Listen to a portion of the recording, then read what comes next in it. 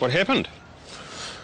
Well, there I was, driving along my Hilux, off-roading, over this mountain, through a valley, in the middle of a cyclone. It's caused a flood and triggered a landslide. Before I finally get to this volcano, it's perched right on the edge of a cliff. Now, I know what you're thinking. But hang on to your steak and cheese, mate, because this is where it got interesting. From out of nowhere, the biggest wild boar I've ever seen in my life. Flames pouring out of his nostrils. He had full body armour on, two rocket launchers on his back like a commando. He was riding this massive motorcycle and getting himself airbrushed on the fuel tank by this crazy looking chimpanzee. And that little fruitcake, he looked me right in the eye and he demanded an ice cream. So here I am. Hokey pokey.